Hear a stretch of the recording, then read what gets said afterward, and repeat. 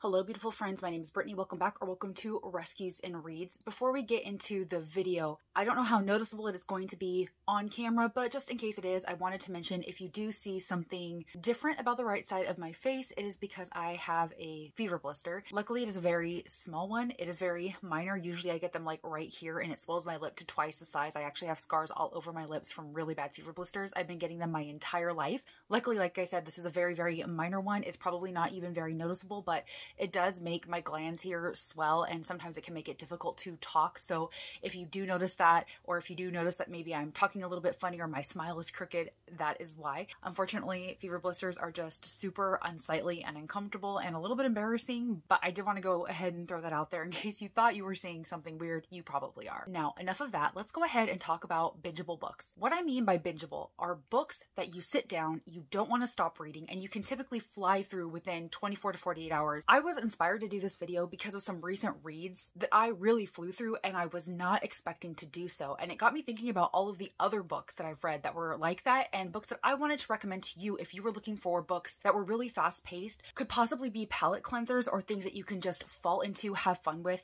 and then move on from. So I actually have quite a few books here to talk about. So we're going to go ahead and jump right in. Now, this very first book is actually the first book that I thought about when I made the decision to start this video. And that book is The Sundown Motel by Simone St. James. I sat down and flew through this in 24 hours because I could not stop. I had to know what happened. It was so atmospheric and spooky, and I just loved the vibes of this entirely. So, this book is following our main character, Carly, and 15 years before Carly was even born, her Aunt Vivian in the early 80s mysteriously went missing from the Sundown Motel where she worked. And Carly's mother, Vivian's sister, never got to find out what actually happened. And now Carly's mother has passed away, never knowing what happened to her sister, and Carly is determined to find out what happened to her aunt. So she actually goes to the Sundown Motel and gets basically the same position, the overnight shift and she is going to investigate Viv's disappearance. So you're seeing Carly as she's investigating in real time and what happens to her. And then you're getting the past timeline. I believe it's 1982 when Viv is working at the Sundown Motel and what happens to her. I don't really want to say more about this book. I think you should really just go in and be along for the ride. It definitely is so atmospheric and creepy. This is perfect for around this time of year when you're wanting all of those spooky vibes. If you have not yet read this, I would highly recommend picking it up, especially during this time of year. So this, like I said, I flew through in 24 hours could not put it down. This was the first book I thought of when I wanted to make this video, and I cannot recommend this enough. My next recommendation is definitely probably one that you've heard of because it is a super popular book that has actually been adapted Big Little Lies by Liane Moriarty. So when this book opens, it is taking place at a school, there's a function going on, and you know that a crime has happened, and you obviously know where and when it has happened, but you don't know to whom the crime has happened, you don't know what the crime actually is, and you definitely don't know who perpetrated the crime. And so this is told through snippets of the present as like police are going around and interviewing guests at the function who might have witnessed the crime. And then you're going in the past and you're actually following a group of mothers. And all these mothers have one main thing in common in that their kids attend this same elementary school, the same kindergarten, I believe. The main mothers in the story are Madeline, Celeste, and Jane. And you're following them in their own personal lives, what they are dealing with and what is going on right up until the events of this school function. And then, of course, everything is revealed at the very end. This book, a lot of people would possibly classify as chick lit, but it is centered around a murder and it is compulsively readable because you don't know what happened, you don't know to whom it has happened, and so you kind of get swept up in the drama of the entire book, both the past drama and the drama that is happening in the present day. I thought that the story was very well structured. I thought that the plot was super engaging, obviously, otherwise I wouldn't be recommending in this video. Characters were absolutely fascinating, and so while I would say that this is definitely very character driven because you are closely following these three mothers, they are very intriguing characters and you want to follow them. You want to know what is going on with their lives. You want to be swept up in the drama that is going on. So I feel like this is very much a mesh of dramas. It is a murder mystery. It is family drama. It is definitely character driven, but also plot driven at the same time. I just feel like once you are into this book and once you know the characters and once you are able to disconnect and lose yourself in it, that this can be a very bingeable read, especially since you want to know what happened. You want to know what the crime is. You want to know what the motive is. You want to know who did it. You want to know all of those things and you want to know how these mothers are involved with that. But overall, I found this to be a very solid bingeable read. Next, I have A Solitude of Wolverines by Alice Henderson. This is one of the recent reads that I was talking about earlier that made me really inspired to create this video. This is one of those wintry isolation thrillers where our main character is stuck in a situation where she is basically on her own and she has to survive. So this follows a wildlife biologist named Dr. Alex Carter. She has spent the last several years in Boston. She moved there for a relationship that has now failed. She feels stuck. She's really unhappy. And so when she's given the opportunity to move temporarily to the northern Montana mountains to study wolverines on this nature preserve, she basically jumps at the chance. She's going to be staying there all winter, kind of like in this abandoned resort. And this resort is now housed on nature preserve land. And so she's going to be staying there studying the wolverines. But when she gets there, she very much senses a lot of hostility with the townspeople. The townspeople don't want her there. I believe they had like other plans for the land. And so they don't really like that she's up there trying to conserve the land and trying to save the wolverines. And at the same time, on the actual nature preserve, she starts to notice some very strange and sinister things happening. Kind of brushes it off. She's definitely going to stay and she's going to do her job. But when some of these things come to get her, it really is a struggle for survival. I love this one. I love the atmosphere. It definitely draws you in and gives you all the vibes that you were hoping for when you are reading a story like this. It is not very long at all. It is only 300 pages, so it really keeps you moving. While it's not necessarily action packed throughout the entirety of the story, the plot does keep moving. It doesn't go a long time between different things happening. And then towards the very end of the book, I would say like the last two hours of the audiobook, probably the last hundred or so pages, I was on the edge of my seat. I wanted to know what happened. I didn't want to stop reading. I felt like it was very intense and the stakes were high, and I just wanted to push through. I did not want to stop. And so that's what I feel makes this a great bingeable read, especially now during this time when we are in winter and we are getting into the cold. For the atmosphere, for the vibes, for the thrill of it, definitely recommend A Solitude of Wolverines. So completely switching gears for a little bit, I want to go ahead and talk about The Illuminae Files by Jay Kristoff and Amie Kaufman. So this is a young adult sci-fi story, and yes, it is a chunky book, but what makes this a unique reading experience, what makes this absolutely bingeable is the fact that it is told 100% in mixed media format. So you've got letters and memos and text messages and things of that nature, and it just makes this book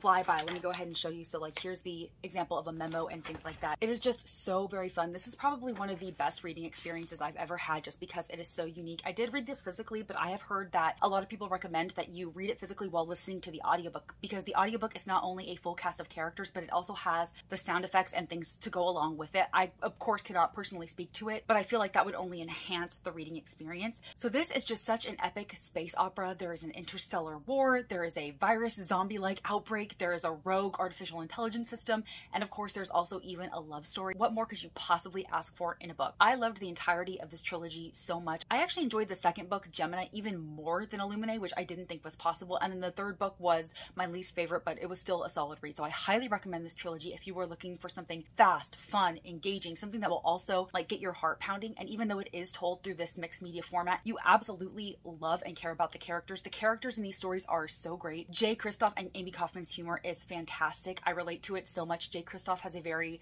dry and morbid sense of humor, which I love. I'm exactly the same way. So I love his writing in general. And I cannot recommend this series enough. It is just a great time, an amazing reading experience. Kind of in the same realm, but adult, you have Blake Crouch. So I have Recursion as well as Dark Matter. Blake Crouch writes these very involved adult science fiction novels that deal with some very complex topics. And even though I feel like the science might go over your head, you're still very easily able to understand it enough to follow the story. You don't have to be a genius to read these books and understand what is actually happening in the story, although Blake Crouch does throw some complex science at you. Now, I have come to determine that Blake Crouch is not necessarily my cup of tea just because I am more of a character driven reader. I really like deep, complicated character dynamics. I like following the characters and falling in love with the characters. And these are more action based, they are more plot focused. These are the kind of books that you would expect to see be made into a movie and translated from a book onto the screen because you know that it would do very well visually. And those books, even though they're fun in the moment, they don't necessarily stick with me. But despite the fact these were 100% bingeable. They're not terribly long. You could absolutely turn on the audiobook or just sit down and read and fly through these books. They're definitely unique. They cover topics that I've never read about before, super interesting science fiction topics. Dark Matter, I believe, deals with the concept of parallel worlds, how there could be an unlimited number of yous living different lives in parallel universes all over the place. And then Recursion, I believe, deals with something called false memory syndrome, where people are going crazy because they're having memories of things that they didn't actually live through, but they believe that they lived through, but they didn't actually do it. So again, these are super fascinating, fast paced, and I do believe that they are bingeable reads. If you love sci-fi, if you are looking for something like that and you have never actually read Blake Crouch, I would recommend. Going back to young adult, I do want to go ahead and recommend the A Good Girl's Guide to Murder series by Holly Jackson. This is probably one of the most solid YA mystery thriller series that I have ever read. It is so well done. Holly Jackson, I can imagine, is definitely immersed into the true crime sphere because the way that she puts this together was so brilliant. And I think even if you are not normally a YA reader, even you could get a lot of enjoyment out of the story. So this follows our main character, Pippa Fitz-Amobi, and for her senior project, she kind of wants to go and re-examine a very notorious case that happened in her town five years prior when a senior named Andy Bell was brutally killed and everybody thought it was her boyfriend Sal Singh and Sal Singh actually ended up shooting himself. And so they thought it was over, case closed, but Pippa has always thought there was more to it. She knew Sal when she was a child. She didn't think that he could possibly a killer. And so she wants to go back and take a harder look into the case and what happened. And so you're following her as she is reinvestigating what happened. She is also getting the assistance of some people who were close to the case, including Sal's brother, and some of the dark, twisted secrets that they uncover. Like I said, this was so well done. And it is a trilogy, so it does continue in book two and book three. And even though those are following somewhat separate incidents, the events in this book and what happens in this book are the catalyst or have influence over what happened in book two and three. So I would definitely recommend that you read these in order. I don't recommend reading them out of order. I feel like you would be very confused if you try to do that. But like I said, these were well plotted. They were well structured. I was even given quite a little shock at the end of this with the twist and the way that it went. I just thought that this was excellently told. Absolutely bingeable, very easy to fly through, very engaging. So that's why I consider this a bingeable read. Next, I want to talk about The Butcher by Jennifer Hillier. So this was actually the very first Jennifer Hillier that I ever read, and it is the book that has made me want to continue with her as an author. I hear a lot of her other books mentioned quite frequently, like her newest release, The Things We Do in the Dark and Jar of Hearts, but I usually don't hear this one talked about. And so because it was my first experience with her, and because I absolutely found this bingeable, I wanted to go ahead and talk about it here. So this book follows a few characters. First one is Edward Shank, who in 1985, when I believe he was just a police detective, he shot and killed the man who was thought to be the Beacon Hill Butcher, a serial killer that was terrorizing this Washington state area. And by killing the serial killer, it really boosted his career. He became chief of police, which he remained in for 30 years until he retired. And now 30 years later, Edward is actually preparing to move himself into a retirement home. His wife has passed away. He's pretty much on his own and he wants to give his Victorian home to his grandson, Matt, who Edward actually kind of helped raise. And so Matt is planning to move into this Victorian home that was his childhood home. But when Matt moves in, he starts to make some renovations to the house. But while doing these renovations, he literally unearths a box of secrets, one that's so gruesome that is going to change his entire life and shake him to his core. And then you're also following a third perspective, Sam, who is actually Matt's girlfriend. She's a true crime writer, and she's actually writing a book that's going to cover the Beacon Hill Butcher case. And this is actually a personal case for Sam because she believes that her mother was actually killed by the Beacon Hill Butcher in 1987, which was two years after the butcher was killed by Edward Shank. Sam believes that the butcher is still out there. She believes the wrong man paid the price, and she's determined to find out who it was and solve this case once and for all. So you're following these three different perspectives as the truth is revealed and how they all connect. And I was absolutely hooked from the beginning, especially because there's actually in the very first chapter something that is revealed and it's just boom thrown at you. And I remember I was cleaning my bathroom at the time I was reading this, and all of a sudden this happened, and I was like, oh damn. And I was in it. I was hooked from the start. I love that Jennifer Hillier just tossed that in right off the bat. There was really no gray area about what was going on. I just thought that was so clever and so engaging. And I liked that she kind of got the shock out of the way. She got the shock out of the way so that you could focus on what was going to happen as you were waiting for these other characters to catch up with you as the reader to what you know. I just loved that so much. Like I said, this is another one that I flew through. If you are already a Jennifer Hillier fan, but you have not yet read this book, you need to. And if you have not yet read Jennifer Hillier and you are looking into an introduction, I thought that this was great. I thought that this was fantastic. Next, I want to talk about The Collective by Alison Gaylin. I was actually surprised by how much I enjoyed this one and how quickly I plowed through it because I wasn't expecting it to. I never read Alison Gaylin before. I thought the synopsis of this sounded really interesting, but I wasn't expecting it to grab my attention and just take me on this wild, twisty, murderous ride, which was so great. So this follows our main character, Camille Gardner, and five years prior to the start of the story, she lost her daughter in a horrific way. She believes that the death of her daughter caused by this privileged young man who was never brought to justice. But the authorities and everybody else believes that it was a tragic accident. But Camille never believed that. Camille believes that there was more to it and that somebody is out there getting away with murder. And then one day she's at an event. I believe, if I remember correctly, the event is actually honoring this boy. And she kind of loses her mind. She loses her shit. And so that brings public attention onto her because she's like gone viral on the internet, right? And this actually causes the collective to reach out to Camille. And the collective is a group of women who are all very similar to Camille. They have all lost their children in horrifically unjust ways where the perpetrator of the deaths has never been brought to justice. And the collective are there to help bring these people to justice. This was such an excellently told, revenge based psychological thriller. I loved how creative and clever the collective was and how you're kind of watching Camille get sucked in, even though she's not sure at first. She doesn't really know. She doesn't know if she wants to be a part of this, especially when she truly finds out what the group does. But then she goes in and you're just kind of seeing these very complicated ways that these women take their revenge. And I loved it so much. And I thought that the ending was really well done. It was twisty. I did not see it coming. And I love when that happens. I love when one of these books can shock me, especially after having read so many in my lifetime. So if you have not yet read this book and you love a twisty revenge psychological thriller, highly recommend. I also want to recommend the legal thrillers written by Steve Cavanagh. So the very first one I have here is The Defense. This is the very first in his Eddie Flynn series. And Eddie Flynn is a defense attorney. He spent many years of his life being a con man and then he kind of turned himself around. He became a defense lawyer because he realized that he could kind of use his con artistry skills as a defense lawyer and just become a success, live a cleaner way of life. At the start of the story, Eddie has actually given up his defense practice. He had something kind of shocking happen to him and he doesn't know if he wants to continue practicing law. And so he's down on his luck. He's estranged from his wife. He doesn't really get to see his daughter. He's not really making any money until his daughter is actually kidnapped by the head of the Russian mob, I think it is. Eddie is basically forced to defend the head of the Russian mob against the crimes for which he is being tried. And this was super fast paced. This is another one that will keep the pages turning because it's set over, I want to say maybe like 36 hours. This and The Plea, which is the second book in the Eddie Flynn series, are both like that. They don't they both take place in less than 48 hours. So it is just nonstop action. These are other books that I feel like would translate really well to the screen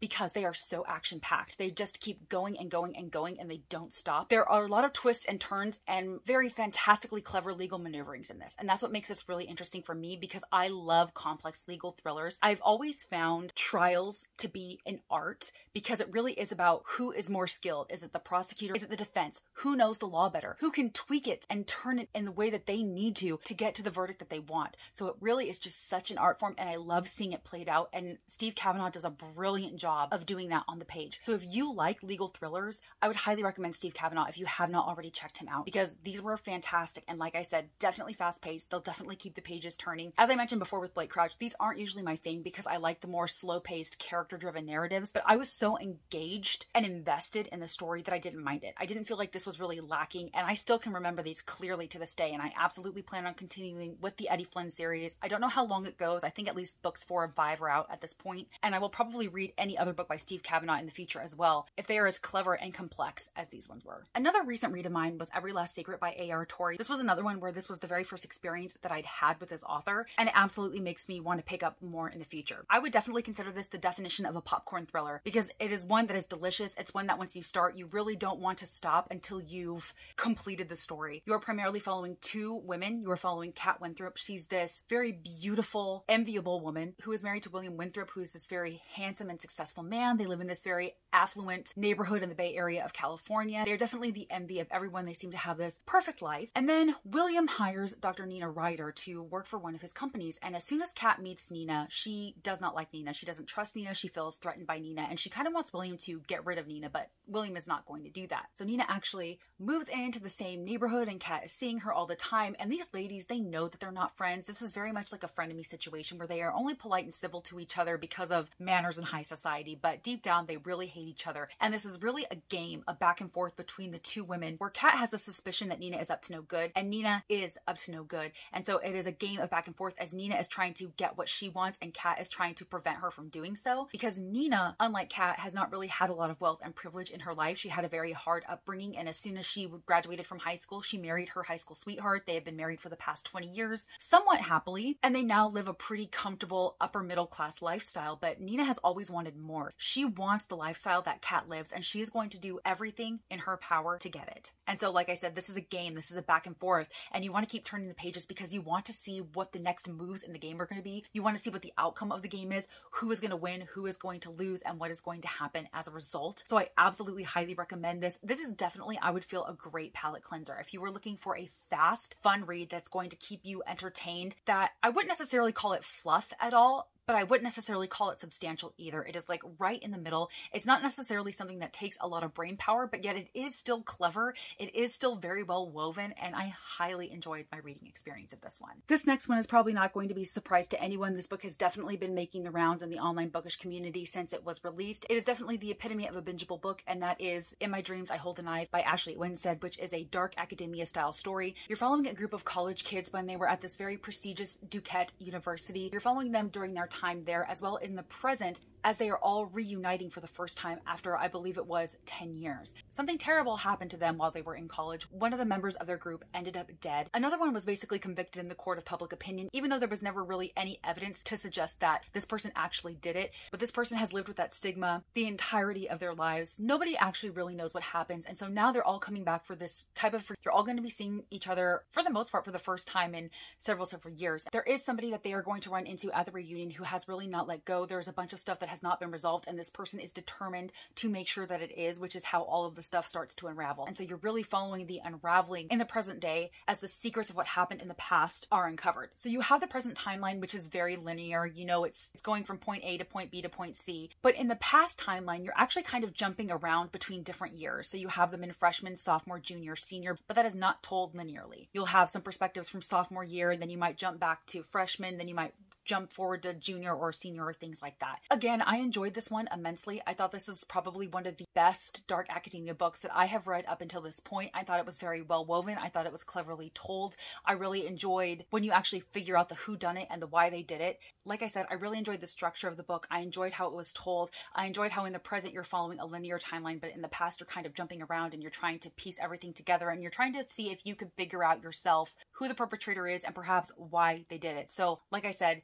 very well told, definitely a page turner. Highly recommend if you have not already read this. Another book that I don't hear talked about often, if at all, is The Roanoke Girls by Amy Engel. Now, this is a very dark and disturbing book, but it is also devourable, and that is why I am including it here because, again, it is not very long. You can absolutely fly through this if you can handle the subject matter of the story because it is very dark. This could be classified as like a Southern Gothic tale. You definitely get the vibes while reading this book. I loved this so much. It was what my dark, twisty little soul needed. It probably is not going to be for everybody, but I still recommend. This follows our main character, Lane. It is told in the present and the past timelines. In the past timeline, she is just 15 years old and her mother has committed suicide. And so she is actually sent to live on their family's estate in Kansas where her grandparents live, even though she has never met her grandparents and she never even knew her grandparents really existed. Her mother never talked about them. Her mother didn't want to talk about them. And so she has no experience with these grandparents whatsoever. While she's there, she meets her cousin for the first time who has been living with their grandparents for a while. And so she's living this very enviable life. But it really doesn't take long for Lane to realize that things are not what they seem on this estate. There are some dark secrets there. And it is a secret that has caused many other Roanoke girls to try and flee the estate over time. The present day timeline takes place about a decade later. Lane has escaped Roanoke. She hasn't returned. She has no plans to, but then she gets a call from her grandparents saying that her cousin Allegra has gone missing and she needs to return to help find Allegra. So of course she's going back to the estate. She's going to have to confront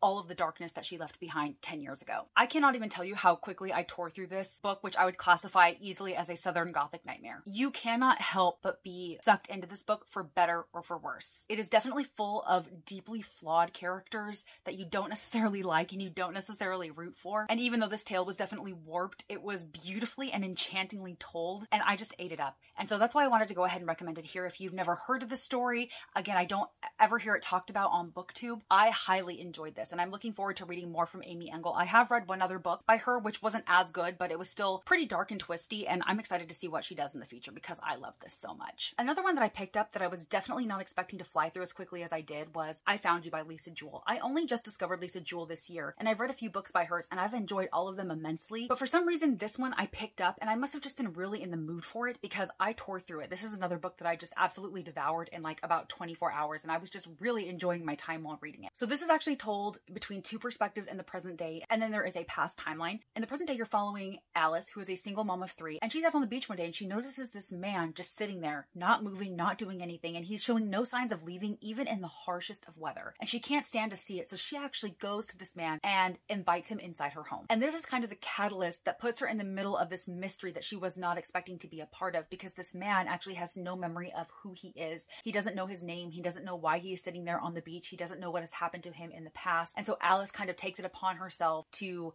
help him figure it out. You're also following Lily, who is very young in this story. She is 21. She is a new bride. She's also a newly minted resident of England. I believe, if I remember correctly, she is Russian. So she has just moved to England to be with her new husband and start a new life. But her husband has suddenly gone missing. He is nowhere to be found. He is not answering her calls or texts. She goes to the police, and the police, of course, are brushing her off, saying that no, he probably just got bored and up and left. And she's like, no, he wouldn't do that. And eventually they do start to take her seriously. And when they do and they start their investigation, they realize that her husband is is not who he says he is.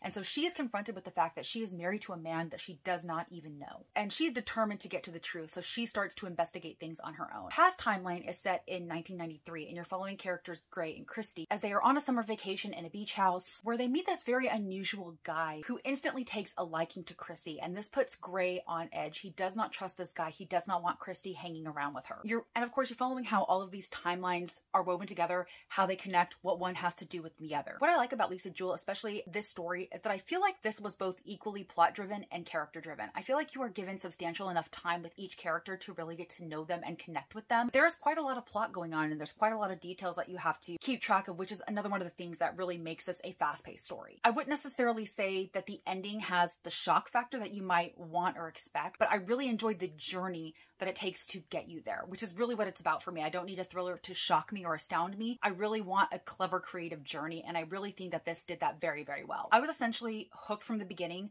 I was very interested to see how the timelines were woven together. I did not want to stop reading, and so I didn't. And like I said, I believe I finished this in definitely less than 48 hours, possibly less than 24 hours, because I remember just not wanting to stop. So I recommend, especially if you've never read a Lisa Jewell before, this might be a great place to start. I just found this compulsively readable and I recommend. And then the last book that I want to recommend to you today is one of the best books that I have read so far in the year 2022. This is another book that might not be for everybody, but I definitely have to go ahead and recommend because I found it absolutely bingeable, and that is Razorblade Tears by S.A. Cosby. This was gruesome, gritty, extremely violent. This was a story of vengeance. So in this story, you're following two fathers. One is black, one is white. They are definitely two very different men, but they have two main things in common.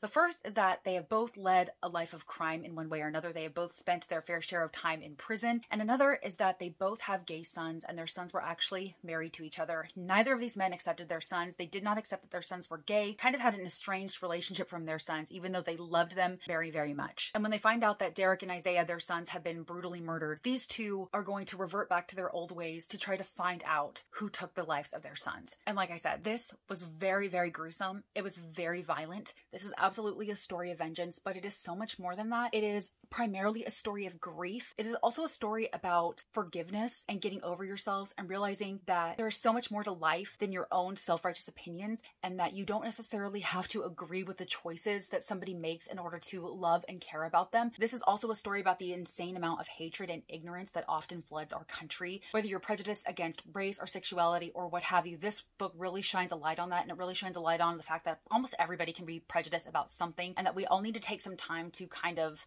bring to light our prejudices so that we can work on them and really understand that having so much judgment and hatred stored up is just only contributing to our own darkness and it's eating up our own soul and it's not doing anybody any good. I really liked the poignant commentary. It was done in a very factual manner, not necessarily an emotional one, which I appreciate because I'm a very factual, logical person. I don't really go based on emotion. So I appreciated the way that S.A. Cosby wove that throughout the entirety of the story. He did such a stunning job of taking this story of violent vengeance, which, by the way, it was disgustingly satisfying to witness. Like you were rooting for Ike and Buddy Lee to find these people and take them down, even though you know in the back of your head it's wrong, but this is like a Dexter situation. Like these are very, very bad men who did this to Derek and Isaiah and these men are going to take them out and you want them to do that, which makes you also re-examine like your own soul and what is right. This story just did so much. It was so beautiful and awful at the same time and I loved it immensely and I highly recommend. Like I said, this is not for everybody. Not everybody is going to be able to handle the subject matter in this. A lot of people are not going to be able to handle the language that is in this,